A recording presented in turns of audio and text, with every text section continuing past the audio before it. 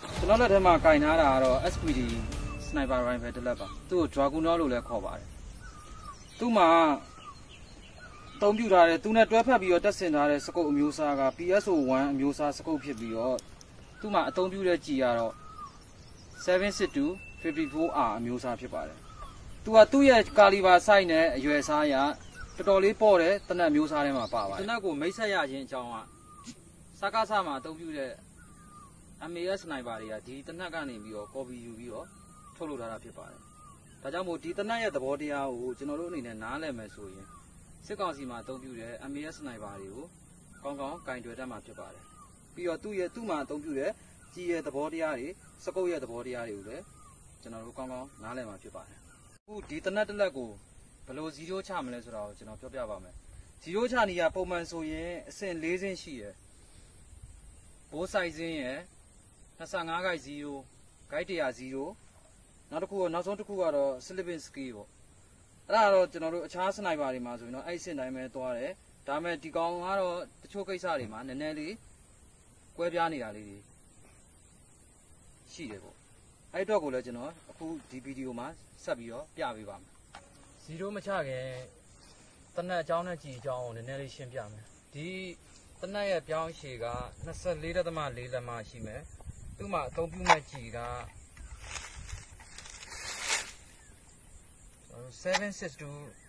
54R ပေါ့နော်သူ့ရဲ့ထူးခြားတဲ့အခြားတနတ်ကြည်တွေနဲ့မတူညီတဲ့တစ်ချက်ကကျွန်တော်တို့ကြည်ရဲ့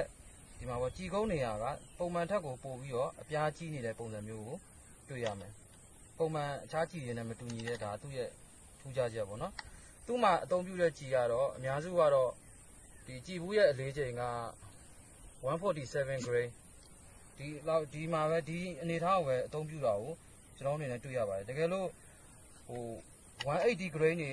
သွားပြီးတော့အသုံးပြုမယ်ဆိုရင်တော့သူသူ့မှာသက်ဆိုင်ရာကြီးကြားလက်မတွေကတော့ကွဲပြားသွားမှာဖြစ်ပါတယ်ဒါကတော့သူ့ရဲ့ကြည်အကြောင်းပေါ့ဒီတနက်မှာတက်ဆင်ထားတဲ့ scope မျိုးစားက PSO scope မျိုးစားဖြစ်တယ်เนาะဒါကြောင့်မို့ဒီ scope ကိုကျွန်တော်အရင်ဆုံးချွတ်ပြမယ် ဒီစကုတ်ကိုချွတ်ပြမယ်ဆိုရင်ဒီစကုတ်ကသူတက်ဆင်ထားတဲ့ပုံစံက Siberia ကနေပြီးတော့တက်ဆင်ထားတာဖြစ်တယ်။ဒါကြောင့်မို့ချွတ်မယ်ဆိုရင်ဒီမှာရှိတဲ့ lever လေးကိုဒီလိုဆွဲလိုက်မယ်။ဆွဲပြီးရင်အနောက်ကိုဆွဲချွတ်လိုက်မယ်။ဒါဆိုရင်သူ့ရဲ့စကုတ်ကိုချွတ်တဲ့ပုံစံပြီးပါပြီ။ဒီမှာဆိုရင်ကျွန်တော်တို့ဒီဘက်ကနေကြည့်ရင်မြင်တွေ့ရမယ်စကုတ်ပုံစံဖြစ်တယ်။နော်ဒါ PSO1 စကုတ်အမျိုးအစား။သူ့မှာပါတဲ့ radical ကအကွာဝေးကိုတိုင်းလို့ရမယ်။ နောက်တစ်ခုကသူ့မှာကတော့သူကတော့ fixed power magnification ပဲရှိမယ်နော်ချဲစားအသေးပေါ့ဒီကောင်မှာဆိုရင်ချဲစားလေးစားအထိပဲပါတယ်သူ့ကိုဆက်ပြီးတော့ဇွန်းကိုအတိုးလျှော့လုပ်လို့မရတော့ဘူးပဲစားဒီစကုပ်မှာဆိုရင်ဒါ elevation turret ဒီကောင်ဒီ wind day turret ဒီ turret နှစ်ခုပါတော့နှစ်ခုပါမယ်ဒီမှာဆိုလို့ရှိရင်သူရဲ့သက်ဆိုင်ရာ turret တွေမှာဒီမှာ0 line လေး0 line အမှတ်လေးဒီမှာတစ်ခုပါမယ် ဒီမှာတစ်ခုပါမယ်ဒါကတော့သူ့ရဲ့ line အမှတ်လေးနှစ်ခုပေါ့နော်ဒီမှာ elevation တားတဲ့အကြောင်းကိုကျွန်တော်အရင်ပြောရအောင် elevation တားတဲ့မှာဆိုရင်0 1 2 3 4 5 6 7 8 9 10ဆိုပြီးတော့ကျွန်တော်တို့အမှတ်လေး10ခုပါမယ်နော်ဒီအမှတ်10ခုကဘာတွေလဲဆိုရင်ကျွန်တော်တို့အကွာအဝေးကိုလိုက်ပြီးတော့ပြစ်ခတ်ရမယ်အမှတ်တွေဖြစ်တယ်ဥမာ100မှာ1ဆိုရင်ကျွန်တော်တို့100 2ဆိုရင်200 3ဆိုရင်300 4ဆိုရင်400နော်30ဆိုရင်1000ပေါ့ အစရှိသည့်ပင်ပြစ်ခတ်နိုင်အောင်လို့ဒီစကုပ်မှာကသူ့ရဲ့ elevation တားတဲ့မှာအမှတ်တွေကိုရေးပေးထားတယ်ဒါပေမဲ့တခုရှိတာဒီကျွန်တော်တို့ကဒီကောင်အသုံးပြုတော့မယ်ဆိုရင်100တစ်ဒီ100မှာ0ကျနေဖို့အရေးကြီးတယ်ဒါကြောင့်မို့ဒီတစ်ဒီ100မှာ0ကျအောင်ကျွန်တော်တို့အရင်ဆုံးလုပ်ရမှာဖြစ်ပါတယ်ဒီကောင်တစ်ချက်ကြည့်လိုက်ရအောင် win date တာတော့ကို win date တာတဲ့မှာဆိုရင်ကျွန်တော်နံပါတ်တွေပါမယ်1 2 3 4 5 6 9 8 1 2 3 4 5 6 9 8ဆိုပြီးတော့ပါမယ်နောက်တစ်ခုကဒီစကုပ်ဒီမေးစကုပ်အမျိုးအစား မေးစကုပ်အမျိုးသားဖြစ်တဲ့ပုံမှန်မေးစကုပ်တွေရာဆိုလို့ရှိရင်ကျွန်တော်တို့ကတမေးကိုတန်းကလစ်လှည့်ရတယ်တမေးကို10ချက်လှည့်ရတယ်10ချက်လှည့်တဲ့ပုံစံနဲ့မေးစကုပ်တွေကိုမေးစကုပ်တွေကလာတယ်ဒါမဲ့ဒီစကုပ်ကထူးချက်ဒီစကုပ်ကအခြားမေးစကုပ်တွေနဲ့မတူတဲ့ချက်ကဒီစကုပ်ဒီဒီဘက်ဘဲညာဒီတစ်ချက်လှည့်ရင်0.5မေးအနေနဲ့သွားပါတယ်0.5မေးအနေနဲ့သွားတယ်ကျွန်တော်တို့နှစ်ချက်လှည့်မှတမေးပြည့်တဲ့အနေအထားဖြစ်တယ်ဥမာ guide 100မှာဆိုရင်ကျွန်တော်တို့3.6လက်မှ တမေးဒီ3.6လက်မှနော်အဲ့3.6လက်မှကိုရောက်ဖို့ဆိုရင်ကျွန်တော်တို့နှစ်ချက်လှည့်ပေးရမယ်အနေထားဖြစ်ပါတယ်ဒါကတော့ဒီဘယ်ညာအတွက်ပဲဘယ်ညာအတွက်ကိုပဲတစ်ချက်ကို0.5မီအနေနဲ့လာတာဖြစ်ပြီးတော့ဒီအပေါ်အောက်ကတော့ကျွန်တော်တို့0.5မီဆိုတဲ့ပုံစံမျိုးနဲ့လာတာမဟုတ်ဘဲနဲ့အကွာဝေးကိုလိုက်ပြီးတော့အကွာဝေးကိုလိုက်ပြီးတော့လှည့်ရမယ့်အရေးအတွက်တွေနဲ့လာတာဖြစ်တဲ့ကြောင့်မို့ဒီအပေါ်အောက်နဲ့ဘယ်ညာအနေထားနှစ်ခုတော့မှသူကလှည့်ရတဲ့အရေးအတွက်တွေကမတူပါဘူး PSO စကုတ်ကိုတစ်နှက်မှာတက်တော့မယ်ဆိုရင်ကျွန်တော်အနေနဲ့ဒီ lever လေးကိုဒီမှာရှိတဲ့ဒီမှာ lever လေးပေါ့နော်ဒီ lever လေးကိုကျွန်တော်ဒီဘက်အနောက်ကိုဆွဲလှန်ထားလိုက်မယ်နော်ဆွဲလှန်ထားပြီးရင်ကျွန်တော်တို့ဒီကောင်ကနေပြီးတော့ဒီ side rail ကိုထိုးဆုပ်ပြီးတော့တက်မှာဖြစ်ပါတယ်ဒါပေမဲ့ပြဿနာတစ်ခုကကျွန်တော်အနေနဲ့ဒီတိုင်းဘာမှမချိန်မဲနဲ့တက်တဲ့အခါမျိုးမှာနော် side rail အရန်ကျက်ပြီးတော့ဒီကောင်လေးအရန်ဒီကောင်လေးအရန်ကျက်ပြီးတော့ side rail တက်မရတာမျိုးနော်ဒါမှမဟုတ်ရှင် ဒီကောင်အရန်ချောင်းနေတဲ့အတွက်ကြောင့်မလို့ side side rail တနက်တက်စကုတ်တက်တဲ့အခါမှာစကုတ်လှုပ်နေတာမျိုးပြဿနာတွေဖြစ်လာနိုင်ပါတယ်နော်ဒါကြောင့်မို့အဲ့လိုမျိုးပြဿနာတွေဖြစ်လာခဲ့မယ်ဆိုရင်ကျွန်တော်တို့အနေနဲ့ကနော်ဘာလုပ်ရမလဲဆိုရင်ဒီကောင်လေးကိုဒီမှာကျွန်တော်အခုလုတ်ပြမယ်ပေါ့နော်ဒီကောင်လေးကိုဝက်ဥလက်နဲ့ဒီလိုဒီလိုကုတ်လိုက်မယ်ကုတ်လိုက်တဲ့အခါမှာသူ့မှာခြောင်သွားပြီနော်ဒီမှာအဲ့ခြောင်သွားတဲ့အခါမှာဒီမှာနှက်ကောင်းလေးကိုကျွန်တော်တို့ကလက်နဲ့အတိုးအရောကိုလိုသလိုလုပ်လို့ရပါတယ် နော်အဲ့လိုလုပ်ပြီးတော့မှကိုယ်တနတ်နဲ့အဆင်ပြေပြီဆိုတဲ့အနေအထားမှာရက်လိုက်မယ်ရက်လိုက်ပြီးပြီဆိုတော့မှကျွန်တော်တို့အနေနဲ့တနတ်မှာတက်မယ်နော်အခုဒီစကုတ်ကိုတက်ပြမယ်ပေါ့နော်ဒီမှာဆိုရင်လော်လေးပါမယ်နော်အဲ့ဒီဒီပါလေးကိုကျွန်တော်အနောက်ထိကိုဆွဲထားလိုက်မယ်ဆွဲထားပြီးရင်ဒီမှာတနတ်ရဲ့ side rail ပေါ့နော်ဒီမှာဒါတနတ်တက်မယ်နေရာ side rail side rail ကိုကျွန်တော်တက်မယ် side rail ကိုတက်မယ်ဆိုရင်ကျွန်တော်ဒီပါအောင်နောက်ကိုဆွဲထုတ်မယ်ပြီးရင်ဒီမှာ ဒီအနေထားဒီအနေထားနေပြီးတော့ကျွန်တော်တို့စပြီးတော့တက်မယ်ပြီးရင်အပေါ်ကိုမတင်လိုက်မယ်နော်ဒီမှာအပေါ်ကိုအထက်ကိုရောက်တဲ့အထိကိုမတင်လိုက်မယ်ပြီးရင်ဒီလီဗာလေးကိုပြန်ဆွဲပြီးတော့ကျက်လိုက်မယ်ဒါဆိုရင်တော့ကျွန်တော်တို့ဒီ Dragunov ကို PSO scope တက်တဲ့တက်နေစီးပါပြီကျွန်တော်အခုဒါမီတာ100ကိုကျွန်တော်ပြစ်ခတ်ကြမှာဖြစ်ပါတယ်ပုံမှန်ဆိုရင်တော့ပုံမှန်တနက်တွေမှာဆိုရင်တော့ကျွန်တော်တို့က ဒီမီတာတရားကိုပြစ်မှတ်ဆိုရင်စကုတ်တန်းတင်ပြီးတော့ပြစ်လို့မရဘူးပေါ့နော်အရင်ဆုံးဘိုးဆိုင်ချင်းလုပ်ရတယ်ဒါပေမဲ့ဒီတနက်မှာတော့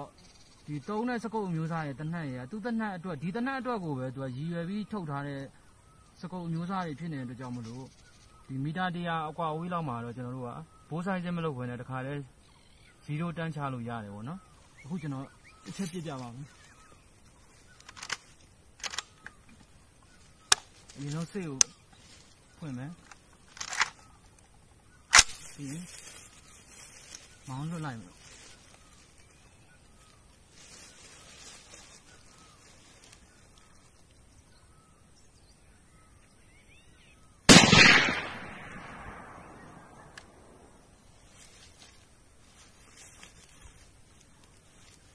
ကျွန်တော်နောက်တစ်ချက်ထပ်ပြပြပါမယ်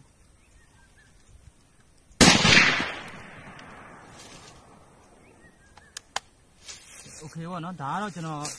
နှစ်ချက်ပြစ်လိုက်တယ်အဓိကကတော့ကျွန်တော်ကြည်စုကိုလိုချင်တာပေါ့နော်ကြည်စုဘယ်လောက်မှရောက်လဲကျွန်တော်အနေနဲ့ပြင်ဆင်ချက်ဘယ်လောက်လုပ်ရမလဲဆိုတာကိုကျွန်တော်သိရအောင်လို့ကျွန်တော်နှစ်ချက်ပြစ်လက်စတိုက်ပြစ်လိုက်တာဖြစ်ပါတယ်ကဲကျွန်တော်တစ်ချက်တော့ကြည့်လိုက်ရအောင်ဒါခုနကကျွန်တော်ပြစ်သွားတဲ့ဟိုပြစ်ချက်နှစ်ချက်ပေါ့နော်ပြစ်ချက်နှစ်ချက်ကိုဒီမှာကျွန်တော်မေးစကုပ်ဖြစ်တဲ့ကြောင့်မလို့ဒါစင်တီမီတာကွက်တွေနဲ့ဆွဲထားတယ်ပေါ့စင်တီမီတာကွက်တွေဆွဲထားတော့ဒါဘယ်ဘက်နော်ဘယ်ဘက်ကို73စင်တီမီတာ နော်73စင်တီမီတာဘယ်ဘက်ကိုရောက်နေပြီးတော့အပေါ်ကိုကအပေါ်ကိုကကျွန်တော်တို့8စင်တီမီတာပတ်ချလဲမှာဒီကတော့စုနေတာကိုတွေ့ရမယ်ဒါကြောင့်မို့ဘယ်ဘက်ဆိုရင်တော့ကျွန်တော်တို့73စင်တီမီတာဆိုတော့မေးအားဖြင့်ဆိုရင်20စင်တီမီတာကို100မှာတမေးဖြစ်တဲ့အတွက်ကြောင့်မလို့1.3မေးနော်1.3မေးဘယ်ဘက်ကိုရောက်နေတယ်အပေါ်ကိုဆိုရင်တော့ကျွန်တော်တို့က0.8မေးလောက်အပေါ်ကိုတက်နေတယ်နော်အဲ့တော့ကိုကျွန်တော်တို့ပြင်ဆင်ချက်နှစ်ခု ပြင်ဆင်ချက်ပြန်လုပ်လိုက်ပြီးလို့ရှိရင်ကျွန်တော်တို့ပြန်တင်မယ်ဆိုရင်ကျွန်တော်တို့ချိန်တဲ့အမှတ်ကိုဒီနေရာကိုကြည်စမ်းဖောက်သွားမှာဖြစ်ပါတယ်။ဒါဒါကတော့ကျွန်တော်တို့ချိန်ရွယ်တဲ့အမှတ်ပေါ့နော်။ဒါကတော့ထိသွားတဲ့အမှတ်ပေါ့။ကဲအဲ့ဒါဆိုကျွန်တော်နောက်ထပ်နှစ်ချက်လောက်တက်ပြစ်လိုက်ရအောင်။တော့ခုနကဘယ်ညာပေါ့နော်။ဘယ်ဘက်ကို73စင်တီမီတာဆိုတော့မေးအားဖြင့်ဆိုရင်1.3မေးဒါဘယ်ဘက်ကိုရောက်နေတယ်ပေါ့။ဘယ်ဘက်ကိုရောက်နေကြမို့1.3မေးကျွန်တော်ညာဘက်ကိုပြန်လှည့်မယ်ပေါ့နော်။ဒီမှာညာဘက်ဒီဘက်ဆိုရင် ဒါညာဘက်ပေါ့ဒါခုနကကျွန်တော်0 line မှာပဲရှိနေတယ်အဲ0 line မှာရှိနေရနေပြီးတော့ညာဘက်ကို1.3 mil ပေါ့နော်1.3 mil ဆိုတော့ကျွန်တော်အနေနဲ့ကဒီမှာကတစ်စိတ်ကိုသူက0.5 mil ဆိုတဲ့အခါမှာကျွန်တော်1.3 mil ဆိုပြီးတော့ကိုလိုချင်တဲ့စီတော့ကွက်တီရွှေ့လို့မရဘူးအဲ့တော့ကျွန်တော်အနေနဲ့ကအနည်းဆက်ဆုံး1.5မီလီတော့ရွှေ့လို့ရမယ်ပေါ့နော်1.5မီလီရွှေ့မယ်ဆိုတော့ကျွန်တော်ညာဘက်ကို3ချက်လှည့်မယ်1 2 3ကဲဒါဆိုလို့ရှိရင်ကျွန်တော်ဒါညာဘက်ကို 1.5မီလီယူလိုက်ပြီပေါ့နော်ခုနအပေါ်ပေါ့ကျွန်တော်တော့100မှာမလို့ဒီမှာ1မှာပဲ0 line ချထားတယ်ဒါပေမဲ့အပေါ်ကို8 cm ဟို8 cm ဆိုတော့0.8မီတက်နေတယ်ပေါ့နော်0.8မီတက်နေတယ်ဆိုတော့ကြောင့်မို့ကျွန်တော်အောက်ကိုနည်းနည်းလေးပြန်ပြီးတော့ချမယ်ဒီကောင်ကတော့ကျွန်တော်တို့ခမန်းချက်အနေနဲ့ပဲချမှာပဲအဆင်ပြေမှာပေါ့နော်ကဲအဲ့ဒါဆိုရင်ကျွန်တော်တို့ပြစ်ကြည့်လိုက်ရအောင်ကဲဒါဆိုရင်ကျွန်တော်တို့ ဒါပြင်ဆင်ချက်ပြီးပြီပေါ့နော်ပြင်ဆင်ချက်ပြီးပြီဆိုတဲ့အခါမှာကျွန်တော်တရားကိုကြည့်စုရအောင်ကျွန်တော်ထပ်ပြီးတော့ပြစ်ကြည့်မယ်ကျွန်တော်စိတ်ဖွင့်လိုက်ပါပြီ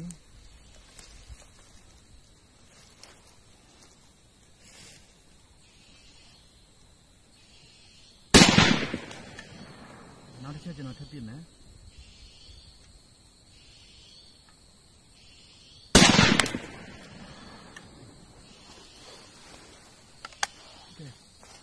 နောက် တစ်ချက်တော့ကြည့်လိုက်အောင်ကဲဒါကျွန်တော်တို့ဒါနောက်ဆုံးပြစ်တဲ့တစ်ချက်ပေါ့နော်ကျွန်တော်ပြင်ဆင်ချက်လုပ်ပြီးတဲ့အခါမှာပြစ်တဲ့တစ်ချက်ဒါကတော့ပထမတစ်ချက်ပထမပြစ်တဲ့တစ်ချက်ကနေပြီးတော့ကျွန်တော်ပြင်ဆင်ချက်လုပ်လိုက်တယ်ပြင်ဆင်ချက်လုပ်လိုက်တဲ့အခါမှာဗဟိုအနေနဲ့ကျွန်တော်ကတ်သွားပြီနော်ကတ်သွားပြီဆိုတဲ့အခါမှာကျွန်တော်ねဘယ်လောက်ထိပဲလို့တော့ပဲဆိုရင်ဘယ်ကိုဘယ်ဆိုလို့ရှိရင်ဒီမှာကြီးနှလုံးကစုနေတာကျွန်တော်တွေ့ရမယ်ဘယ်ဆိုရင်4 cm ပေါ့4 cm ဆို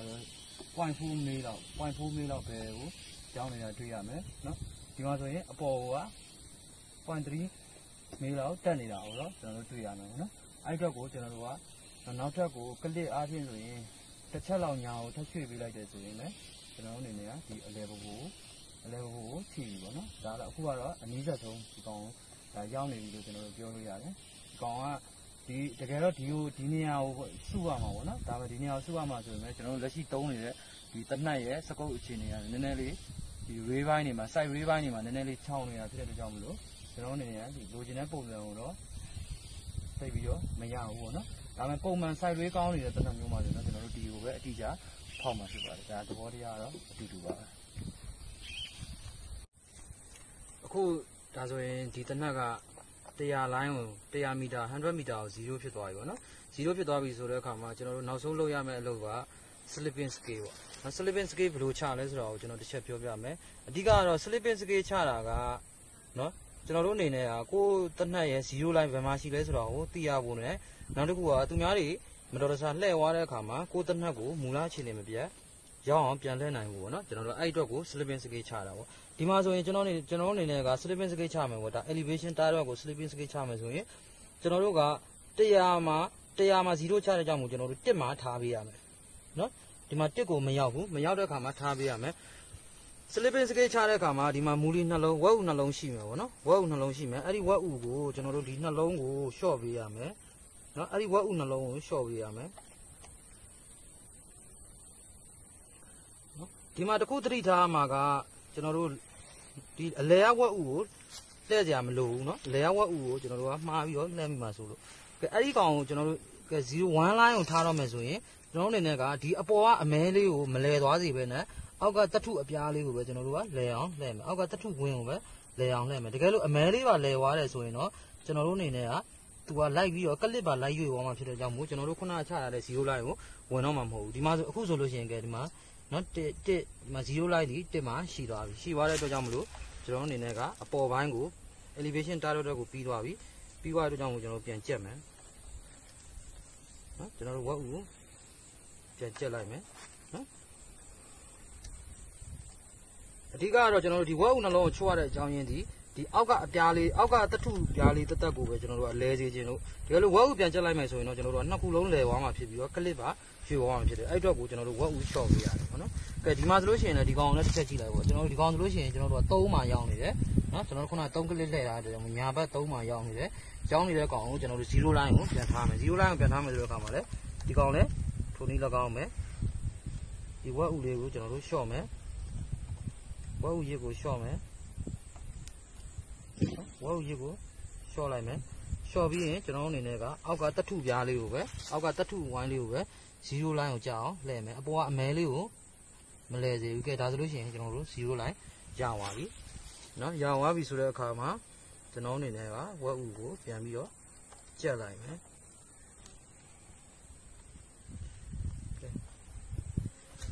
ဒါဆိုရင်ကျွန်တော်တို့ဒီ Dragon Knock Sniper Rifle တလက်နော်ကျွန်တော်တို့100 100မီတာကိုကျွန်တော်တို့0 line ချတာကိုရှာသွားပါပြီနော်တကယ်လို့ဒါကြောင့်မို့ကျွန်တော်တို့စကားစစနိုက်ပါတွေကိုရခဲ့မယ်ဆိုရင်လည်းကျွန်တော်တို့0ချတဲ့အပိုင်းတွေဒီဒီပုံစံတိုင်းတွေပဲဖြစ်ပါတယ်နော်အဲ့ဒါကိုကျွန်တော်အနေနဲ့ပြောပြခြင်းပဲ